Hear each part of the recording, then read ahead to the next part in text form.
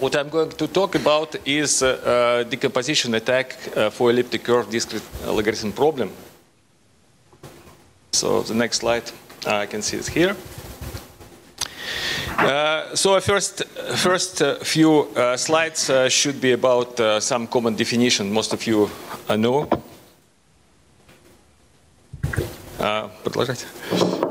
well, so FQ is a finite field of size Q.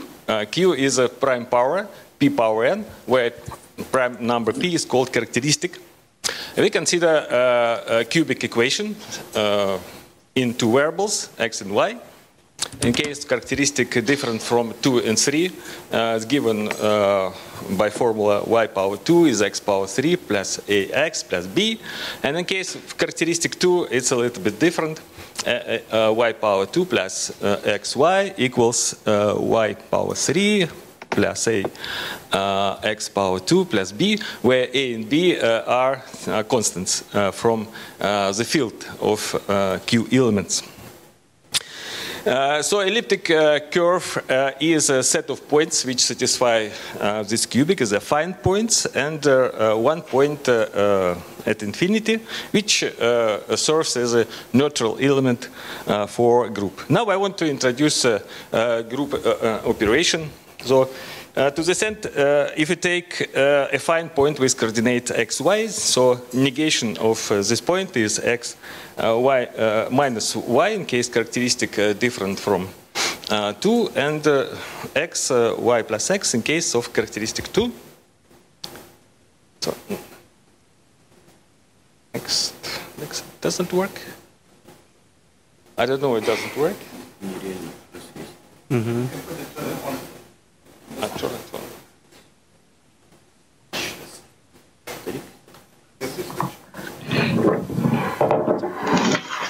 Okay. Uh, sorry.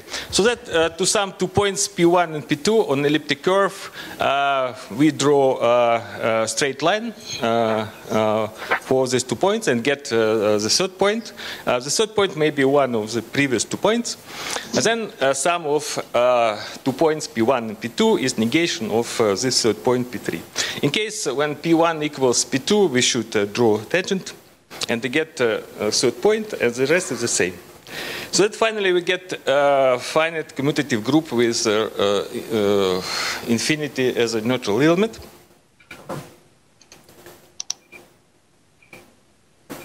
So now uh, discrete logarithm problem is defined uh, such that if you have uh, two uh, points from a group of elliptic curves, P and Q, so find integer x such that Q is uh, p uh, times times x times x. This is additive notation. Uh, in multiplicative notation, we have q is uh, p power x, but it's the same. In elliptic curves, we used to, uh, to work with additive notation. Uh, this is a hard problem except a few uh, easy cases. And Miller and Koblitz uh, independently suggested first elliptic curve cryptographic protocol like Diffie-Hellman, etc. So uh, uh, two easy cases uh, uh, well known. This is a case so-called uh, supersingular curves, uh, like curve y power 2 is x power 3 minus x over prime field fp. When a case when p is congruent to 3 modulo 4, it was found by Menezes, Okamoto, Van Stone, and the same year by me. At that time, I, I got even a small uh, prize for, for this result. I sent my work uh, to uh, competition for young scientists and got third place at this competition and got prize for 20 rubles. Uh, and another case is anomalous curves where uh, the size of a group uh, over a field of p elements is exactly p. And that found by me in 1995, and then two years later it was found by Asata Araki and Smart. There are also NIST curves. NIST, this is a National uh, Institute for Standardization in the United States. They recommend uh, two bunches of uh, elliptic curves to use in cryptography, in Diffie-Hellman protocol, and digital signatures. Those are curves in characteristic 2, that is over a field of 2 power n elements, where n runs from uh, for uh, the set of five prime numbers starting from 163 till 571. And there are two different curves. Uh, one is called uh, Koblitz curve, uh, given by this formula, and another uh, pseudo-random curve. Pseudo-randomness means that this coefficient uh, coefficient b is produced uh, by some uh, pseudo-random procedure from some specific seed. And similar uh, to this, uh, similar to this, uh, some curves over prime finite field where prime number p is of this size. And uh, uh, this is a, pseudo-random curve as well, where B is produced uh, some deterministic way, but it looks pseudo-random or. Okay. So now, Uh, uh, the most common uh, method to find discrete logarithms is a rho method due to Pollard. Uh, basic idea is the following. Uh, we can define pseudo-random function on a uh, set of elliptic curve points. And this pseudo-random function somehow somehow related to our problem. So that unknown logarithm is somehow in this function. Then we uh, iterate this function and uh, find collision. Oh, sorry. Oh. Yeah, which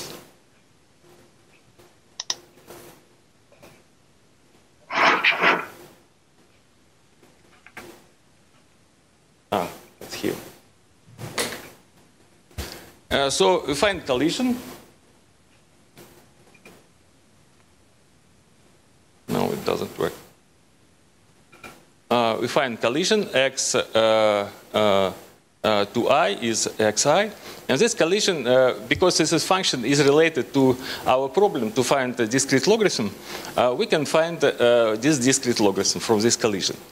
And because of birthday paradox arguments, the number of such iterations is bounded by square root of the field size. And memory size is negligible. So this is very practical uh, method. Moreover, uh, this method is fully parallelizable uh, due to Oorschot Wiener of uh, 96. And it was uh, uh, improved by, by many people. this is just name, name two groups. But uh, improvement uh, were very slight. So that uh, asymptotic bound q power 1 half remained. Now if you look at uh, uh, discrete logarithm in uh, prime finite field, so that the, what we should find is uh, is, is better not, not to use it. Uh, so this is discrete logarithm problem modulo p. So uh, we have residue b and residue a. We should find x such that this is satisfied.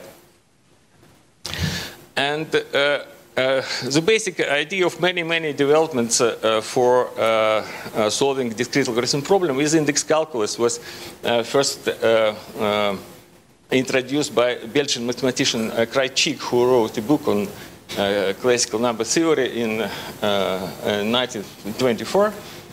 Uh, and the idea is the following. Uh, we fix some parameter b and uh, let 2, 3, q are small prime numbers bounded by this number b. And then we uh, choose uh, uh, random y and compute d, which is a power y b modulo p. And now uh, this is number may be big, but after reduction modulo p, this is number bounded by, uh, by p. And then we try to factor this number uh, into product of these small numbers. So now we can take logarithm of both sides uh, and we get uh, uh, the following congruence. And this congruence in includes a known logarithm x, known number y, and uh, unknown, unknown logarithms of small prime numbers, uh, and uh, known coefficients. Known. That is a linear equation modulo p minus 1, So, but this is one only equation, but number of variables is large, so that we should collect a number of such equations and resolving. Oh, okay, resolving, but it's more easy to work with. Sorry, it's too, too many devices. It's confusing for me. So uh, we should collect a lot of such equations. Uh, so actually we should collect uh, the number of equations is the number of variables. The number of uh, variables is about number of prime numbers bounded by b. And we collect a uh, system and resolve uh, the system using Gaussian elimination, for instance, and in particular we find unknown logarithm. So this is a basic idea of this index calculus algorithm. So now, um, complexity. Complexity depends on parameter b, but optimal value in this case is given by this formula. By this formula. So that because we use, for instance, Gaussian elimination, uh, complexity of the whole method is given by this formula. And this uh, function in P, this function is much uh, much lower than uh, complexity of Pollard method. Pollard method is p power one half, but this is uh, much lower.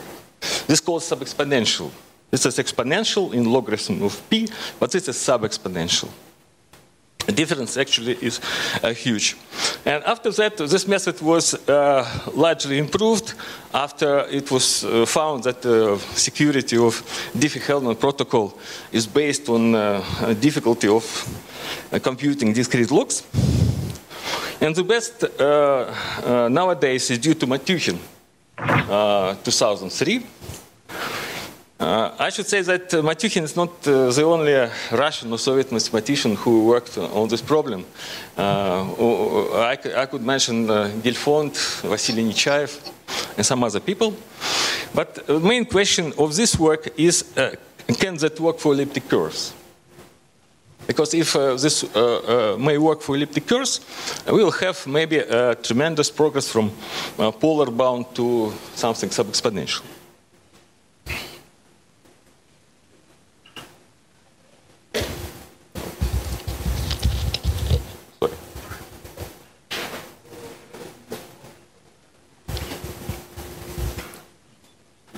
Okay, uh, uh, look at the idea of uh, decomposition. Try to model what we have in elliptic curves um, uh, by what we, uh, uh, by what we have in the finite fields. So in finite fields, we compute number d, which is related to a and b in this way for known random y.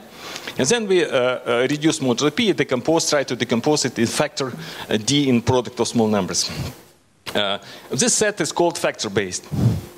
In elliptic curves, we can also compute very similar point like this. So you see it's a close similarity between these two. And then uh, try to uh, represent this point as a sum of some m points, m points, where points uh, uh, are in some small, small set of points. And this is obviously decomposition.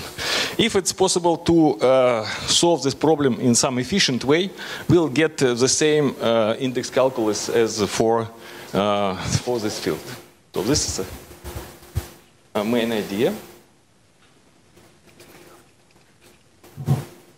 So in uh, 2004, I realized that uh, this relation, that is relation of decomposition, so point R is decomposed in Uh, sum of uh, m points from uh, from but anyway, this is also true. This is equivalent to uh, uh to uh, this equality, where Rx is x coordinate of point R, x1 is x coordinate of this point, x2 and so on, xn is x coordinate of uh, this, uh, this point.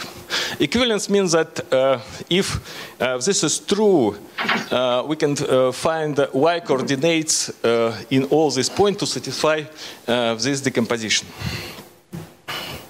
As is, here, here, here is presented. So how to, to choose a factor base or how uh, so what we should uh, solve is just solve uh, this problem. But if this problem is a trivial, if no restriction on uh, uh, these, these elements. But after imposing some restrictions, that is, for instance, if it comes to finite field characteristic 2, that is of size 2 power n, it's naturally to consider for, for Uh, uh, x's uh, polynomials of degree bounded by this, this ratio. Why uh, it, uh, comes to polynomials? Uh, this is field extension field of degree n, so that elements of this field are represented by polynomials, modulo some irreducible polynomial of degree n. and we can take a set of polynomials of bounded degree.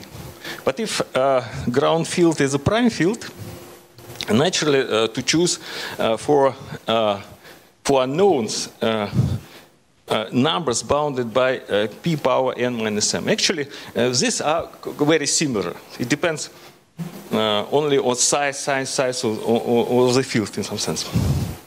So now I can formulate point decomposition problem that we have a random R, uh, for instance, with known logarithm or uh, uh, point R with a logarithm, which is a combination uh, uh, of uh, unknown logarithm is some known random number. we should find, we substitute x coordinates, a coordinate of this point of this point into uh, uh, this polynomial. We'll see that is a polynomial. And uh, the task is to find x1, xm. From this set, if uh, it is a characteristic two case, or in, in this set, if it's a, a prime uh, finite field. So I probably should uh, go a little bit faster.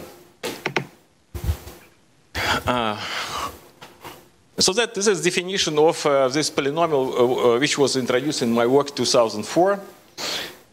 just take example of characteristic to curve. for this uh, curve, uh, the first polynomial with index 2 is just x1 plus x2 is very easy. So uh, S3 is represented a little bit more complicated formula, but it's also quite easy. But uh, after that, uh, S4 is constructed with a resultant, with a resultant. And now it's much more complicated. And S5 is uh, even more complicated. And S6 is just terribly complicated polynomial.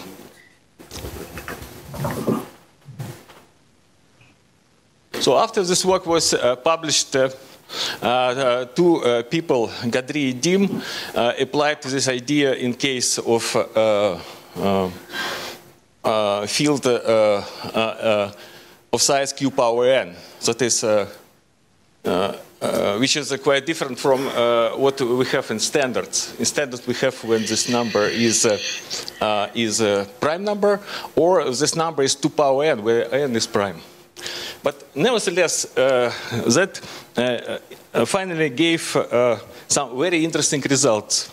So in this case, they were able to prove that if n is fixed, so this is fixed and q, q may grow, uh, some final uh, bound is exponential, but it's much better than Pollard's.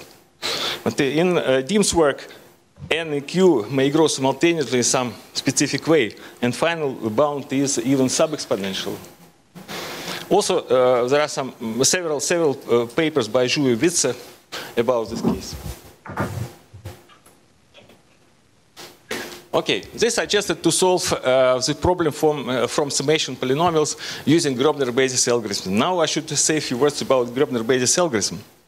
So assume that we have a system of algebraic equations over finite field, finite fields, so that uh, those are polynomials, multivariate polynomials in n variables, and we have m equations. So how to solve it? One of the way uh, is to compute uh, first Grobner basis for ideal generated by those polynomials. Uh, uh, in many cases, this is just what we need because if, for instance, uh, the system has unique solution, Grobner basis is just trivial. You read solution from this Grobner basis after some reductions. Uh, so a way how to construct Grobner basis is the following. Uh, we take initial polynomials, you multiply those polynomials by uh, any polynomial such that uh, degree of resulting polynomial is bounded by some number d, and then construct uh, a matrix of uh, rows of coefficients, and then apply row echelon form algorithm, and for some d, for some d, for some d large enough, we'll have Grobner basis uh, read from rows of um, reduced matrix. An efficient variant of this algorithm called F4 was suggested by Faugère and implemented in Magma. And that is very nice because that gives opportunity to, uh, to run some experiments. experiments.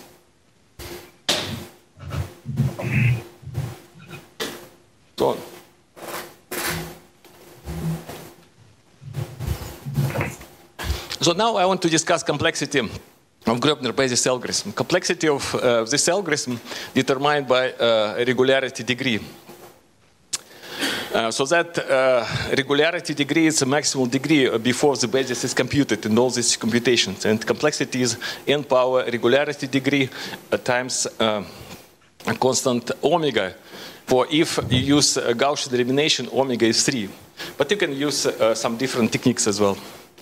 Uh, so Bardet, uh, Faugère, and uh, some other people, they wrote a number of pa uh, papers on complexity of Grobner basis algorithms. They realized so semi-regular polynomials, I, I, skip definition of semi-regular polynomials, uh, degree of regularity only depends on number of variables, number of polynomials, and degree of polynomials. Now, for instance, I gave uh, uh, a classification for quadratic semi-regular polynomials over uh, a finite field of characteristic 2. So that if uh, the number of uh, polynomials is a multiple of number of variables where alpha, this coefficient is larger than 1, uh, regularity degree is proportional to, uh, to um, essentially proportional to number of variables where uh, beta is smaller than 1. But if uh, number of variables is a small number, if compared with number of, uh, number of uh, equations, it means that system is uh, quite very over-defined. So in this case, regularity degree is uh, uh, asymptotically smaller than number of variables, and solution is sub-exponential. And then if uh, number of uh, equations is a constant multiplied by number of variables power 2, regularity degree is constant and solution is polynomial. So if regularity degree is constant, we can substitute in this formula. So this is constant, this is constant, and power constant, this is uh, polynomial. No, for instance, if uh, m is larger than n power 2 divided by 6, it's possible to prove that regularity degree is 3 in case of semi-regular uh, system. And uh, they formulated conjecture uh, that probability that a random equation system is semi-regular if uh, uh, tends to 1. So that if you take a random system with probability 1, that is semi-regular and that is and complexity, all these complexity bounds are correct for a random, randomly generated system of equations. But this is conjecture.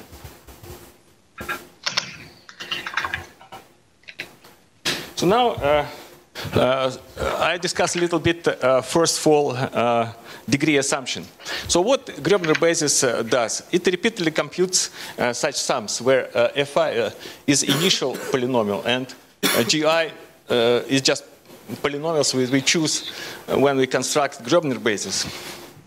And first fall degree uh, is the smallest number such that uh, such that maximal maximal of the summons uh, is of degree d, but degree of the sum is smaller. So we have some kind of uh, fall in uh, algebraic degree.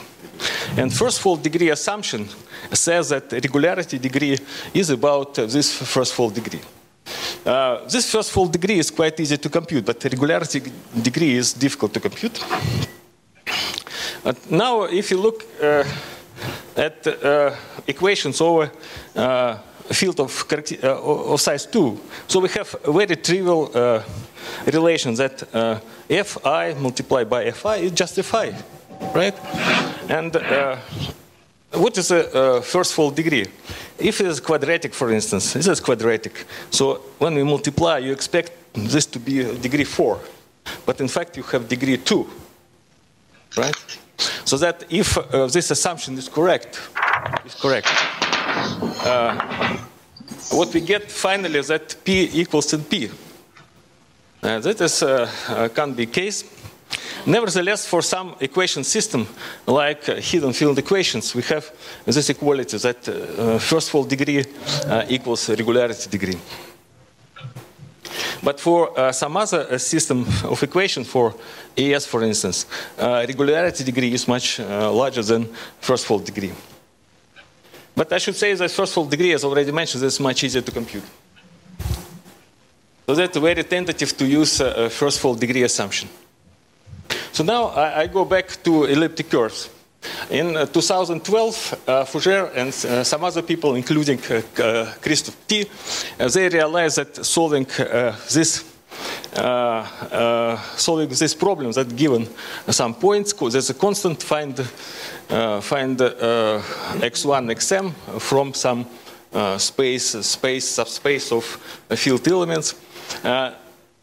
This problem has regularity degree is much lower than expected. It was very nice. And after that was another paper by uh, Petit Quisquater. Uh, they have found that first fall degree for such equation system generated from this is bounded by this number. And then they used uh, first fall degree assumption that regularity degree is uh, first fall degree. And they found that resolution is exponential under this assumption. It was supported uh, by some experiments with small uh, parameters and also, uh, there was a paper by Shantz, uh, uh, 2013. They supported all uh, their assumptions, but also for very small parameters. So uh, this uh, implies that we have a conjecture exponential bound for binary elliptic curve discrete logarithm problem. So that if we assume that this is true, we'll have sub-exponential bound for, for discrete logarithm problem. So now, uh, uh, last year I realized that uh, instead of uh, solving a uh, uh, problem for, from this summation polynomial, which may be huge and not very convenient to work with, we can split the problem several, several represent this problem as a system of such problems, but with smaller, smaller polynomials, smaller polynomials, by introducing new variables. So that how we introduce new variables? Uh, we denote by new variable uh, u1, x coordinate of some of these two points. Then uh, new, new, variable u2, uh, x coordinate of some of these points, and so on. And instead of uh, this equation, you have this system of equations. And uh, in characteristic 2, degree of all these equations uh, bounded by, uh, by 3. This is a system of cubic equations. Equations from this polynomial are of very, very large algebraic degree. Very large algebraic degree. Now I go to experiments.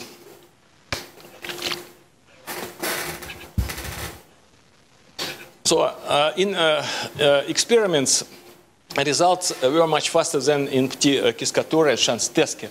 So for instance, if you take n is 21, and M is 3. So the problem they uh, uh, wanted to solve is just find x1, x2, x3 for uh, fix this, such that degree, for instance, uh, this polynomial is bounded by 7. And that is all uh, over this field.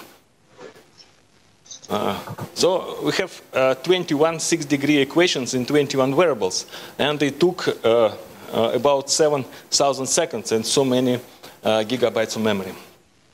But if we introduce uh, more variables, so we have uh, this system is equivalent to this system, and but number of variables is larger, is twice larger, is 42, and this problem is solved in this time, one.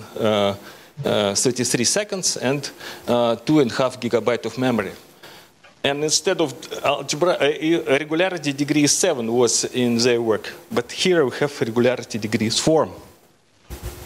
So this was much smaller. And that is explain why uh, solution of this is much faster than solution of this. So in all my experiments uh, were cubic equations and regularity degree uh, bounded by 4. So the maximal number of variables in the system I uh, solved at the time was 60, and still uh, regularity degree is 4. And that uh, gave me idea that it may be uh, every time regularity degree is 4. But if you compare with semi-regular systems, it's just a generic case. probability one case, if we take cubic equations in 60 variables, regularity degree should be 15. So this is much larger. So that our problem related to discrete logarithm, regularity was 4, at least for some examples in my work, but in, with probability one uh, case, regularity degree is 15. So uh, uh, now uh, uh, I get idea also that it may grow, but uh, with that, but very slowly, if you consider these two numbers.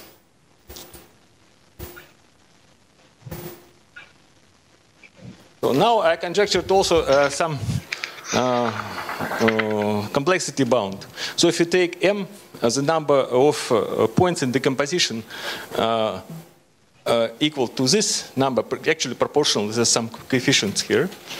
So in decomposition is solving cubic equations described way. So in so many variables, the number of variables, and regularity degree is bounded by, this is asymptotically smaller than this function. So this problem may be solved in this time, in this time. So, and constant is uh, uh, uh, 1.62 approximately.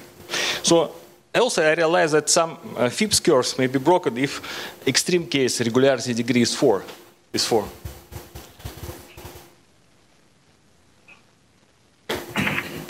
Okay, now uh, let's uh, discuss if it's possible that regularity degree really grows, so a constant. So for instance, we consider a simple case when we have only one such equation, so that we have uh, this as constant and two variables uh, of bounded degree, degree of xi bounded by n over 2, and this is for a field of size 2 power n. So already for n is 45, regularity degree is 5, not 4. It was reported by Kosters just the same year. And uh, I uh, checked this computation, and my home computer, uh, it took more than 10 hours, 10 hours and 120 gigabyte of memory to solve this problem. And that is uh, the same as reported by Kosters. So this was correct. But why not to try hybrid method? What's a hybrid method? Uh, hybrid method, first you try a few, a few bit variables and then run some solving algorithm.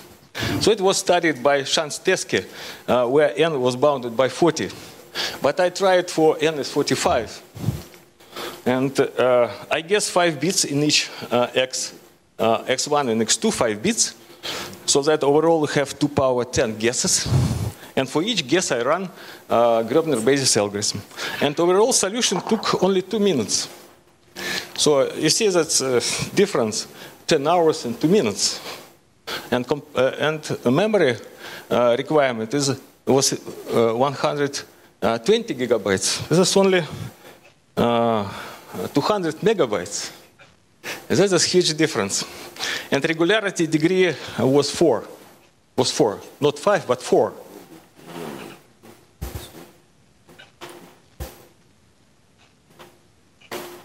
So now, uh, uh, then I got idea that I can use hybrid method to evaluate complexity for large n. Large n. Some people uh, uh, had the criticism that all my experiments were for small n.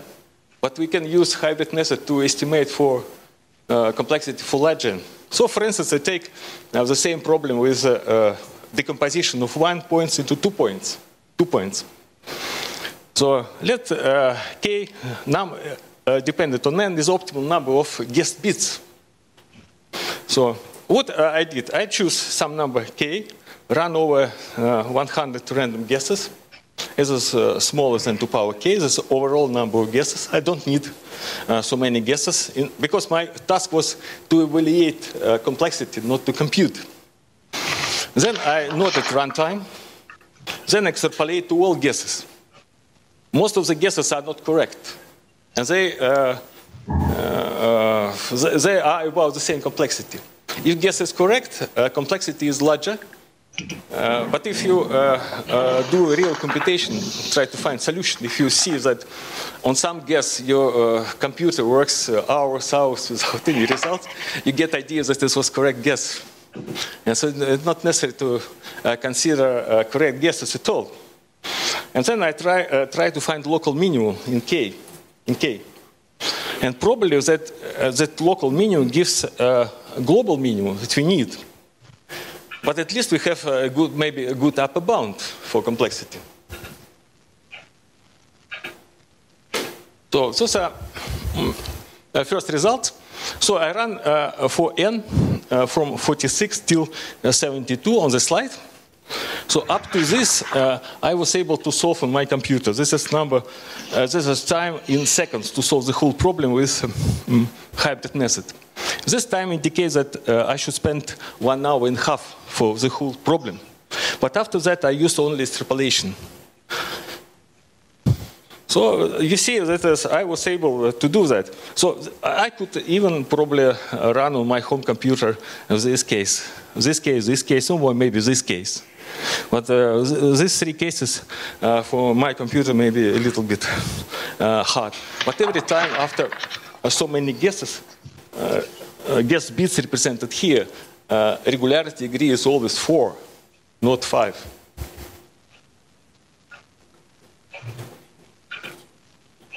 After that, I continue till uh, 174.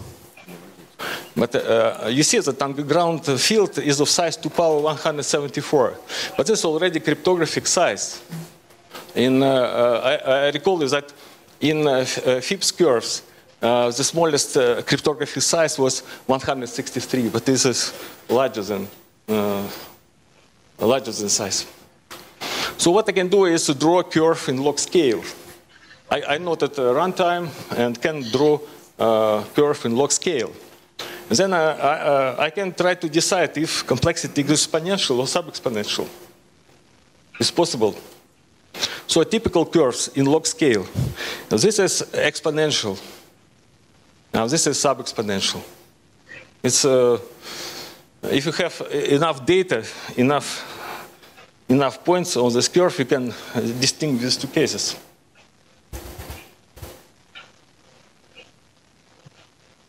Okay. So uh, this is curve I got for complexity. As already mentioned, I uh, ran till N174. And uh, I realized that uh, uh, F4 uh, took a few seconds for each guess of about N over 3 bits. So for instance, if N is really 174, just somewhere, somewhere this place, this place, uh, so F4 took uh, 11 seconds to solve the problem with 2 gigabytes of memory and uh, regularity degree was 4 and the equation system was over, slightly overdefined.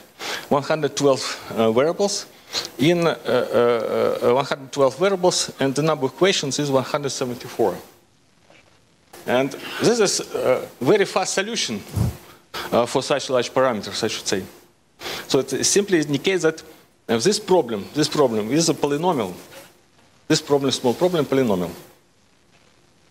Now then uh, uh, I can evaluate uh, uh time uh, spent on computation is bounded by this, uh, this function. to power 0.4 times n for, for every n bounded by 174. So it obviously idea that get idea that it overcomes brute force. In brute force, we need this time. But uh, we can do much better than brute force. I'm about to, to have all the limit I had. And just maybe another uh, five minutes. So now uh, I try uh, to um, uh, to decide if uh, complexity, this complexity curve is exponential or sub-exponential. So for instance, we can uh, uh, uh, do blue curve. Blue curve. this is a sublineal, sublineal function in n. And another green curve is also sublineal function in n. And uh, you see that at least the blue curve uh, uh, approximates quite well this complexity curve. It may indicate that actual complexity of the problem is sub-exponential, not exponential. But this maybe uh, requires more data to decide. Also, another thing that I used only local minima. But probably if we use global minima and analyze global minima, this curve should be more gradual, more gradual. So I can, I can, I can prove that this, uh, all minimums I, I found were global minimums.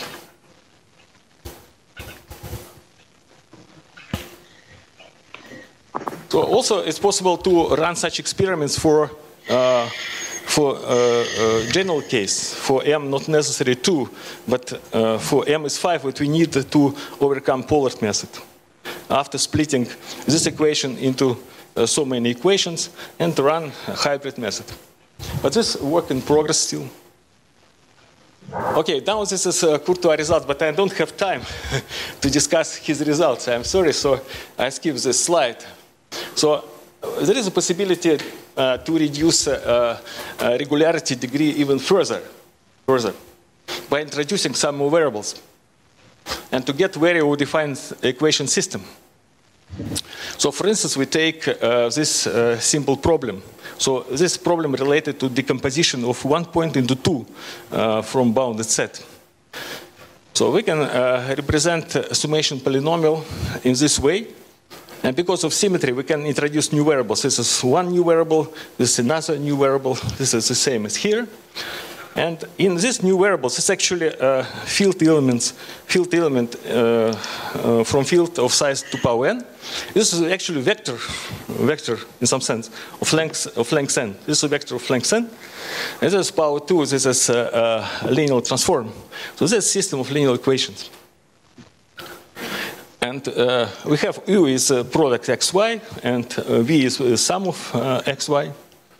And this is linear equation, uh, uh, n linear equations in so many, uh, so many bit variables, which are coordinates of these two. So, but we can uh, find uh, nonlinear equations. So, any equation uh, such that f, mm, after substituting instead of variables f, coordinates of u and v is zero, may be added to the system. But we have only 10 quadratic polynomials. So instead we can uh, go further, introduce much more uh, new variables. So if we denote uh, by new variables uh, these expressions, these are symmetric expressions in x and y. So then we can write uh, this x times y and this v uh, x plus y is linear combination of this. And the number of variables is n power 2 divided by 8. So this is still a system of linear equations. But Besides that, we can generate a, a, lot of quadratic equations. And the number of quadratic equations is given by this formula. And all these quadratic equations are linearly dependent. So we can add uh, all these quadratic equations to linear equations and get system of equations and run Grobner basis algorithm or hybrid method.